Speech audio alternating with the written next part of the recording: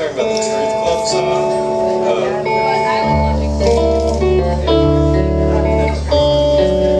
I'm gonna call it. My top string's gonna break during the